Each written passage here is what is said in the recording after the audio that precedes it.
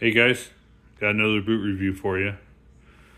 This time it's the uh, the Georgia boots um, in Barracuda Gold.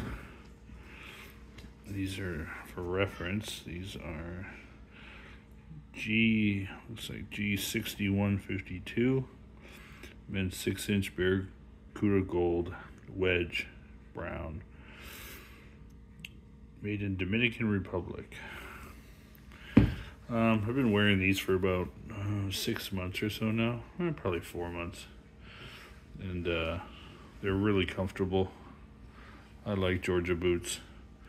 Um, not really too too fond of the round toes. I'm usually uh, into the the mock toes, but the round toes serve their purpose too. Um, as far as style wise, I like the mock toe, but yeah, comfort wise, these these Carolinas are, or not Carolinas, I'm sorry, the Georgia boots, pretty good. Uh, sole's been holding up pretty well. Um, yeah, it's got the Goodyear welt, plastic welt, and uh, double double stitched at the toe.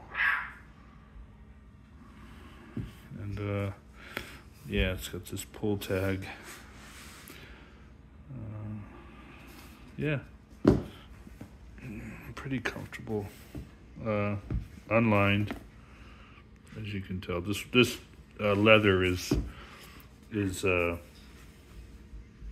already broken in when you first buy it, so there's no there's no break-in process. They're ready to go right out the box, and. I had another pair of Georgia boots, the Made in America, and they were super comfortable too. A little bit more expensive, obviously, but I don't know, these are still cool. I like wearing these. These are kind of like my beater boots. So, yeah. Let me know what you guys think of these. These laces are um, a little bit, they're kind of, they're not super super strong or durable or but I don't know. They've held up good for me so like when you feel them they feel real spongy and, and I thought for sure they'd break quick but I don't know. They've hung in there so they usually tighten up my boots pretty tight so. Yeah let me know what you guys think of them huh? Thanks thanks for watching.